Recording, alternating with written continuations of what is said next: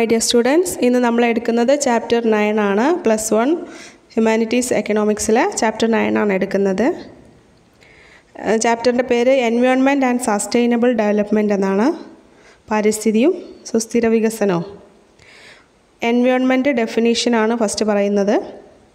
Total planetary inheritance and the totality of resources it includes biotic and abiotic factors അതായത് ജീവനുള്ള അല്ലാത്തതുമായ വസ്തുക്കൾ ഉൾപ്പെടുങ്ങിയ പ്രകൃതിയുടെ system biotic factors all living elements such as animals birds plants forest and fisheries biotic ഫാക്ട്സിൽ വരുന്നതാണ് എല്ലാ ജീവനുള്ള വസ്തുക്കളും. അതിൽ മൃഗങ്ങൾ പക്ഷികൾ സസ്യങ്ങൾ അതുപോലെ ഫോറസ്റ്റ് വനം ഫിഷറീസ് മത്സ്യങ്ങളൊക്കെ അതിൽ ഉൾപ്പെടുന്നുണ്ട് എക്സെട്ര അബയോട്ടിക് ഫാക്ടേഴ്സിൽ വരുന്നതാണ് ഓൾ നോൺ ലിവിങ് എലിമെന്റ്സ് അതായത് ജീവനില്ലാത്ത വസ്തുക്കളായ ഭൂമി വായു വാട്ടർ പാറ sunlight സൂര്യപ്രകാശമൊക്കെ land air water rocks and sunlight ഇനി ഫങ്ഷൻസ് ഓഫ് ദി എൻവയോൺമെന്റ് പഠിക്കാം. പരിസ്ഥിതിയുടെ ധർമ്മങ്ങൾ സപ്ലൈസ് റിസോഴ്സസ് അതായത് വിഭവങ്ങളെ പ്രദാനം ചെയ്യുന്നു എന്നുള്ളത്. അതിൽ രണ്ട് തരം വിഭവങ്ങളുണ്ട്. റിന്യൂവൽ റിന്യൂവബിൾ റിസോഴ്സസും നോൺ റിന്യൂവബിൾ റിസോഴ്സസും റിന്യൂവബിളിന് അതായത് പുനഃസ്ഥാപിക്കാൻ കഴിയുന്നത് വാട്ടർ എയറൊക്കെ അതായത് വീണ്ടും വീണ്ടും ഉണ്ടാക്കാൻ കഴിയുന്നത് പ്രകൃതിയിൽ ഉണ്ടാകുന്നതാണ് വെള്ളം വായു എക്സെട്ര നോൺ റിന്യൂവബിളിന് അതായത് ഉപയോഗിക്കും തോറും തീർന്നു പോകുന്നതാണ് നോൺ റിന്യൂവബിൾ അത് കൽക്കരി പെട്രോളിയം ഒക്കെയാണ് ഇവിടെ കൊടുത്തിട്ടുള്ളത്. Coal and petrol assimilate waste പിന്നെ അടുത്ത് പറയുന്നത് ഫങ്ഷൻസ് ഓഫ് എൻവയോൺമെന്റിൽ പറയുന്നത് അസിമിലേറ്റ് വേസ്റ്റ് വേസ്റ്റുകൾ ഇല്ലാതാക്കി കളയുക sustains life by providing genetic and biodiversity അതുപോലെ എസ്തെറ്റിക് സർവീസസ് ലൈക്ക് സീനറി പ്രകൃതി സൗന്ദര്യം നിലനിർത്തുന്നു. അതുപോലെ ബയോഡൈവേഴ്സിറ്റി ജനറ്റിക് കാര്യങ്ങൾ പ്രൊവൈഡ് ചെയ്യുന്നു. ഒക്കെയുള്ളതാണ് അതിന്റെ പ്രകൃതിയുടെ ഫങ്ഷൻസ് ആയിട്ട് പറയുന്നത്. Carrying capacity and absorptive capacity ഈ രണ്ട് കപ്പാസിറ്റി എന്ന് പറഞ്ഞാൽ പുനർജീവിപ്പിക്കാനും അതുപോലെ ജീവനുള്ള വസ്തുക്ക വസ്തുക്കളെ ആകിരണം ചെയ്യാനും അല്ലാത്തവ ഭൂമിയിൽ പിടിച്ചു നിർത്താനുള്ള ഒരു കഴിവ് പ്രകൃതിയുടെ. Caring capacities genera regenerating capacity of the environment ആണ്. അതായത് പ്രകൃതിയിൽ തന്നെ വസ്തുക്കളെ റീജനറേറ്റ് ചെയ്യാനുള്ള capacity പുനരുൽപ്പാദിപ്പിക്കാനുള്ള capacity absorptive capacity is the capacity to absorb degradation by the environment അതായത് പല വസ്തു വസ്തുക്കളെയും സ്വയം നശിപ്പിക്കാനുള്ള പ്രകൃതിയുടെ അതായത് വേസ്റ്റാക്കി കളയാനുള്ള പ്രകൃതിയുടെ കഴിവ്. എൻവയോൺമെന്റ് ഇഷ്യൂസാണ് അടുത്ത് പറയുന്നത്. ഇമ്പോർട്ടന്റ് ആണ്. അതിൽ ഫസ്റ്റ് പറയുന്ന എയർ പൊല്യൂഷനാണ് വായു മലിനീകരണം. അത് അതിന് എന്തൊക്കെ മലിനീകരണങ്ങളാണ് നോക്കാം? ഇൻഡസ്ട്രിയലൈസേഷൻ വ്യവസായങ്ങളിൽ നിന്ന് വരുന്നത് heavy use of motor vehicles വാഹനങ്ങൾ വലിയ വാഹനങ്ങളിൽ നിന്നുള്ള പുക മറ്റു കാര്യങ്ങളും ഡീഫോറസ്റ്റേഷൻ വനനശീകരണമൊക്കെ അതിന്റെ ഭാഗമായിട്ടുള്ളതാണ്. പിന്നെ വാട്ടർ പൊല്യൂഷന് അതിൽ വരുന്ന ഡംപിങ് ഓഫ് സോളിഡ് വേസ്റ്റ് കരവസ്തു മാലിന്യങ്ങൾ നിക്ഷേപിക്കുമ്പോൾ വെള്ളം മലിനമാവുന്നത് ഫ്ലോ ഓഫ് ഇൻഡസ്ട്രിയൽ വേസ്റ്റ്. വ്യവസായങ്ങളിൽ നിന്ന് വ്യാവസായിക ഫാക്ടറികളിൽ നിന്നുള്ള മാലിന്യങ്ങൾ ഒഴുക്കി കളയുമ്പോഴുള്ള കാര്യങ്ങൾ. Heavy use of chemical pesticide and fertilisers in the land. അതായത് നമ്മൾ കൃഷിയുടെ ആവശ്യങ്ങൾക്ക് വേണ്ടി രാസവളങ്ങളൊക്കെ ഉപയോഗിക്കുമ്പോൾ അത് മണ്ണിലെത്തിയിട്ട് അങ്ങനെ ജലം മലിനമാകുന്ന അവസ്ഥ. പിന്നെ ഗ്ലോബൽ വാർമിംഗ് ആണ് അടുത്ത് പറയുന്നത്. ആഗോള താപ അതായത് it's a gradual increase in the average temperature of the earth's lower atmosphere as a result of the increase in the greenhouse gases അതായത് അന്തരീക്ഷം ചൂട് കൂടുന്നതിന്റെ ഫലമായിട്ട് ഗ്രീൻ ഹൗസ് ഗ്യാസസ് വർദ്ധിക്കുകയും അങ്ങനെ ചൂട് കൂടുന്നൊരവസ്ഥയാണ് ഗ്ലോബൽ വാർമിംഗ് എന്ന് പറഞ്ഞാൽ അതിന് കാരണം ഒന്ന് ഡിഫോറസ്റ്റേഷനാണ് വനനശീകരണം വനങ്ങൾ നശിച്ചു പോവുക. Burning of fossil fuels fossil fuels കത്തിക്കുമ്പോഴുള്ള അതിലൂടെ വരുന്ന ചൂട് കൂടുന്ന അവസ്ഥ. Omission of carbon dioxide and carbon monoxide അന്തരീക്ഷത്തിൽ വ്യാപിക്കുന്നത് പോലെ ഇൻഡസ്ട്രിയലൈസേഷൻ വ്യവസായങ്ങൾ കൂടിയിട്ട് ഫാക്ടറികളൊക്കെ വർദ്ധിച്ചുണ്ടാവുന്ന നശീകരണം. ഇനി അതിന്റെ ആഗോളവൽക്കരണത്തിന്റെ ഗ്ലോബൽ വാർമിങ്ങിന്റെ റിസൾട്ടാണ് ക്ലൈമറ്റ് ചേഞ്ച് കാലാവസ്ഥയിൽ വരുന്ന മാറ്റങ്ങൾ ഇപ്പോൾ ധ്രുവ പ്രദേശങ്ങളൊക്കെ മഞ്ഞുരുക എന്നൊക്കെ പറയുന്നത്. ബയോഡിസ് ബയോഡൈവേഴ്സിറ്റി ലോസ് ബയോഡൈവേഴ്സിറ്റി അതായത് ജൈവിക ഇതിനുള്ള നഷ്ടം അതുപോലെ മെൽറ്റിംഗ് പോളാർ ഐസ് ധ്രുവപ്രദേശങ്ങളിൽ ice ഉരുകുന്നത് rise in sea level and flood കടൽ ജലനിരപ്പ് കൂടിയിട്ട് വെള്ളപ്പൊക്കം ഉണ്ടാവുകയൊക്കെ ചെയ്യാം. ഓസോൺ ഡിപ്രഷൻ ഓസോൺ പാളി നശിക്കുന്നതാണ് അടുത്തത്. It refers to the phenomena of reduction in the amount of ozone in the stratosphere സ്ട്രാറ്റോസ്ഫിയറിലാണ് ozone എന്ന പാളി സ്ഥിതി ചെയ്യുന്നത്. നശിക്കാനുള്ള കാരണങ്ങൾ കോസസ് ആണ് പറയുന്നത്. ഇൻഡസ്ട്രിയലൈസേഷൻ വ്യവസായവൽക്കരണം ഫാക്ടറികൾ കൂടിയിട്ട്. Heavy use of C F C F C H C F product like air conditioner refrigerator etcetera അതായത് എ സിയിൽ നിന്നും ഫ്രിഡ്ജിൽ നിന്നൊക്കെ പുറത്തു പോകുന്ന വാതകങ്ങൾ H C F C F C വാതകങ്ങൾ ക്ലോറോ ഫ്ലോറോ കാർബൺ അങ്ങനെയുള്ള വാതകങ്ങൾ റിസൾട്ടുകൾ ഇനി റിസൾട്ടാണ് പറയുന്നത് അതിന്റെ ഓസോൺ നശിക്കുന്നതിന് കാരണം എന്ത് സംഭവിക്കുന്നു എന്നുള്ളതാണ്.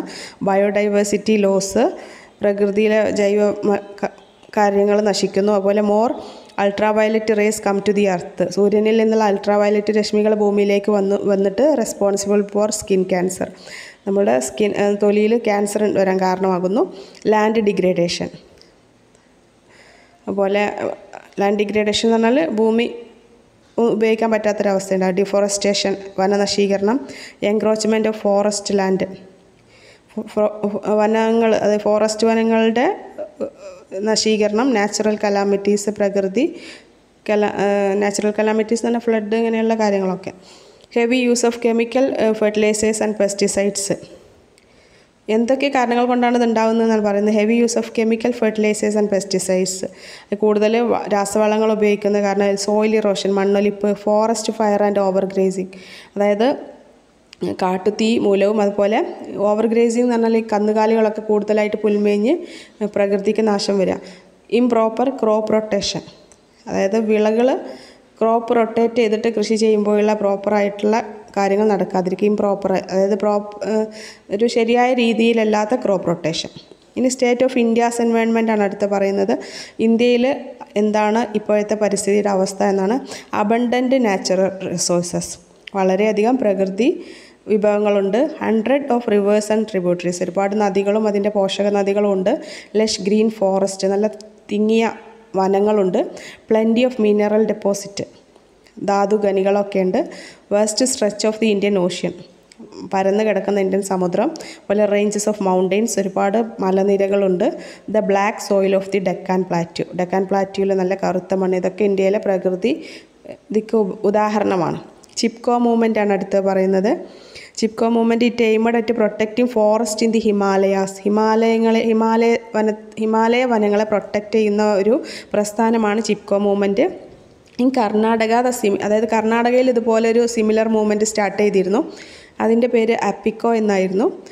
ഈ ചിപ്കോ മൂവ്മെന്റിന്റെ ആളുടെ പേര് പഠിച്ചു വെക്കണം. സുന്ദർലാൽ ബഹുഗുണ എന്നാണ്. അതുപോലെ നെക്സ്റ്റ് പറയുന്നത് Kyoto protocol. A United Nations conference on climate change അതായത് കാലാവസ്ഥാ വ്യതിയാനങ്ങളെക്കുറിച്ചും ആഗോള താപ താപനത്തെക്കുറിച്ചൊക്കെയുള്ള ഒരു സെമിൻ ഒരു കോൺഫറൻസ് ക്യോട്ടോ ജപ്പാനിലെ ക്യോട്ടോ എന്ന് പറഞ്ഞ സ്ഥലത്ത് കൂടിയിരുന്നു നയന്റീൻ നയന്റി സെവനിൽ അതാണ് ക്യോട്ടോ പ്രോട്ടോകോൾ എന്നറിയപ്പെടുന്നത്. Resulted in an international agreement to fight against global വാർമിങ്ങിനെതിരെ fight ചെയ്യുക എന്നുള്ളതാണ് അതിന്റെ ലക്ഷ്യം.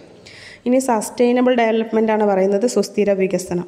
It is an eco friendly development that sustain itself according UNCED അതായത് U N C E D അതായത് ഐക്യരാഷ്ട്രസഭയുടെ കീഴിൽ പ്രകൃതിയെ സംരക്ഷിക്കുന്ന ഒരു സംഘടന. അത് പറഞ്ഞത് development that means the need of the present generation without compromising the ability of the future generation to meet their own needs അതായത് സസ്റ്റൈനബിൾ ഡെവലപ്മെന്റ് എന്ന് പറഞ്ഞാൽ ഇപ്പോഴുള്ള ജനങ്ങൾക്ക് അവരുടെ ആവശ്യങ്ങൾ നിറവേറ്റാനും ഫ്യൂച്ചറിലുള്ള ആളുകൾക്ക് കരുതി വെക്കാനും ഉള്ള കരുതി വെച്ചുകൊണ്ടുള്ള ആവശ്യങ്ങൾ നിറവേറ്റുക എന്നുള്ളതാണ് ഇതുകൊണ്ട് ഉദ്ദേശിക്കുന്നത്. സ്ട്രാറ്റജീസ് ഫോർ സസ്റ്റൈനബിൾ ഡെവലപ്മെന്റ് അതിന്റെ ധർമ്മങ്ങളായിട്ട് പറയുന്നത് use of non conventional source of energy അതായത് പുനഃസ്ഥാപിക്കപ്പെടുന്ന എനർജി ഉപയോഗിക്കുക നേരത്തെ പറഞ്ഞ. അതുപോലെ conventional energy sources are exhaustible and not not eco friendly അപ്പോൾ പുനഃസ്ഥാപിക്കാൻ കഴിയാത്ത എനർജി എന്ന് പറഞ്ഞാൽ അത് പെട്ടെന്ന് നശിച്ചു പോകുന്ന അതുപോലെ എക്കോ ഫ്രണ്ട്ലി അല്ല. പരിസ്ഥിതിക്ക് ദോഷം ചെയ്യുന്നതാണ്. Promote non conventional energy sources such as wind power solar അതായത് കാറ്റ് സൂര്യ ഊർജം ഇങ്ങനെയുള്ള കാര്യങ്ങൾ ഉപയോഗിക്കുക. Use L P G gobar gas in rural areas rural ഏരിയാസിൽ L P G അതുപോലെ ഗോബർ ഗ്യാസ് ചാണക ഗ്യാസൊക്കെ ഉപയോഗിക്കാം ചാണകം കൊണ്ടുള്ള gobar gas. To rectify the problem of deforestation and air pollution we can promote the use of L P G and gobar gas in rural areas അതുപോലെ C N G urban ഏരിയാസിൽ C N G ഉപയോഗിക്കുക. The use of C N G reduces air pollution കുറയ്ക്കാൻ C N G കാരണമാകുന്നു solar energy എന്ന് പറഞ്ഞാൽ അത് energy stored in solar ഫോ photovoltaic cells it is renewable and pollution free solar എനർജിയും അതുപോലെ പൊല്യൂഷൻ ഫ്രീ ആണ്. പുനഃസ്ഥാപിക്കാൻ കഴിയുന്നതാണ് വിൻഡ് പവർ വിൻഡ് പവറും wind turbines move with help of wind and electricity generator it is renewal പുനഃസ്ഥാപിക്കാൻ കഴിയുന്നതാണ്. Mini hydel plants generate power to meet local demands അത് ചെറിയ ചെറിയ പവർ ജല പ്ലാന്റുകൾ ഇതും വൈദ്യുതി ഉണ്ടാക്കാൻ സഹായിക്കുന്നു എൻവയോൺമെന്റൽ ഫ്രണ്ട്ലിയാണ് traditional knowledge and practices traditional knowledge and practices like Ayurveda Unani and folk system are to be widely used അതായത് ആയുർവേദ യുനാനി ഇങ്ങനെയുള്ള കാര്യങ്ങളൊക്കെ നമ്മൾ പ്രകൃതി നമ്മുടെ ട്രഡീഷണൽ ആയിട്ടുള്ള മാർഗങ്ങൾ യൂസ് ചെയ്യാം. Bio composting it is compost made from organic waste എന്നുള്ള ബയോ കമ്പോസ്റ്റ് ഉണ്ടാക്കുന്നത്. ബയോ പെസ്റ്റ് കൺട്രോൾ എന്ന് പറഞ്ഞാൽ ബയോ പെസ്റ്റിസൈഡ് എന്ന് പറഞ്ഞാൽ രാസവളങ്ങൾക്ക് പകരം neem and tobacco are good bio pesticide അതായത് കീടനാശിനികൾ ഇപ്പോൾ ആര്യവേപ്പ് ടുബാക്കോ എന്നൊക്കെ പറഞ്ഞ പുകയില ഇതിൽ നിന്നൊക്കെയുള്ള ബയോ പെസ്റ്റി പെസ്റ്റിസൈഡ് ഉപയോഗിക്കാം. Promote organic farming organic farming promote ചെയ്യുന്നത്. It's an agricultural system that use ecologically based controls and biological fertilisers derived largely from bio bio waste organic farming bio വേസ്റ്റിൽ നിന്നുണ്ടാക്കുന്ന അപ്പോൾ എനിക്ക് ഇതിന്റെയൊക്കെ മെറിറ്റ്സ് എന്ന് പറഞ്ഞാൽ എക്കോ ഫ്രണ്ട്ലി ആണ്. പ്രകൃതിക്ക് പ്രകൃതി സൗഹാർദ്ദമാണ് പ്രകൃതിക്ക് നാശം വരുത്തുന്നില്ല. മെയിന്റെയിൻ എക്കോളജിക്കൽ ബാലൻസ് പ്രകൃതി സന്തുലിതാവസ്ഥ നിലനിർത്തുന്നു. ഹൈലി ന്യൂട്രീഷ്യസ് ആണ്. വളരെയധികം പോഷക ഗുണങ്ങളുണ്ട് ഇങ്ങനെ ഉണ്ടാക്കുന്ന കൃഷിക്കൊക്കെ. ഹയസ്റ്റ് എക്സ്പോർട്ട് വാല്യൂ ഉണ്ട്. അതായത് കയറ്റുമതി ചെയ്യുമ്പോൾ വളരെയധികം മൂല്യം കൂടുന്ന വസ്തുതയാണ് ലേബർ ഇന്റൻസീവ് തൊഴിലാളികളെ ഉൾപ്പെടുത്തിയിട്ട് ചെയ്യാം. ഇതിന്റെ ലിമിറ്റേഷൻസ് എന്ന് പറഞ്ഞാൽ low yielding compared to modern farming രാസവളങ്ങളൊക്കെ ഉപയോഗിച്ച് കൃഷി ചെയ്യുന്നതിനേക്കാളും കുറഞ്ഞ നമുക്ക് കുറഞ്ഞ വരു ഇത് കിട്ടുള്ളൂ കാർഷികോൽപ്പന്നങ്ങളെ കിട്ടുള്ളൂ. മോർ വൾണറബിൾ ടു പോസ്റ്റ് അതുപോലെ